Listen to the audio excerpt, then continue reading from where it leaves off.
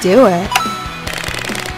Hey guys, this is Versatile from VST Power, now hosting Project Phoenix Media. In today's video game tutorial, I'm going to show you how you can use Swap Magic for the Fat PS2. In my case, I'm actually using a legit copy of Swap Magic 3.6. I have the CD and also DVD version, so here is the legitimate copy of Swap Magic that I got many years ago. So see the more info description if you're curious about how that works. Next thing I have a Fat PS2, of course, and it also comes with this slide tool as well. So this portion of the video, let me show you how the slide tool works, and then I'll show you how Swap Magic works in action. So one thing I'm going to do is I'm going to remove my memory card because that has FMCB installed, and I don't want that to automatically boot to FMCB when I do the Swap Magic trick. But how does the Swap Magic slide tool card work? So what you want to do is remove the, the DVD cover right here, so I did that before, and what you want to do is basically slide this in, the little crack in here, slide it to the right, there'll be a little notch, and then you just pull it out, pull the rest out, put in your disc, so in my case I'm going to put in the Swap Magic disc, close it back in, and then you could just take this slide tool, push it to the right, pull it to the left, you hear a lock, and you're good to go. So that's just an example of how to pull it out and push it back in basically.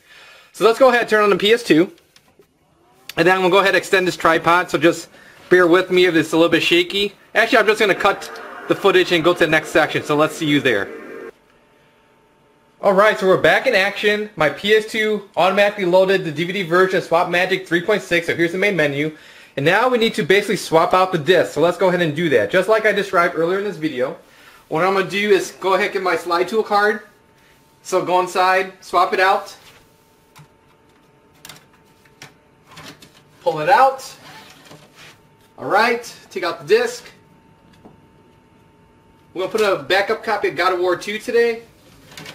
Push it back in. Slide tool, close it back in. Locked. Awesome. Let's go back to the TV. Let's get my controller here. Press X. And now the game will load.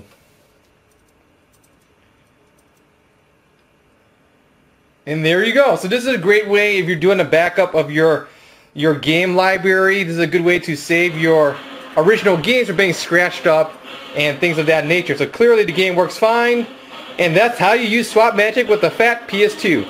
So you guys have any nitpicky questions, leave a comment here on YouTube page. I'll get back to you as soon as possible. Once again, thank you for watching. Take care. Bye.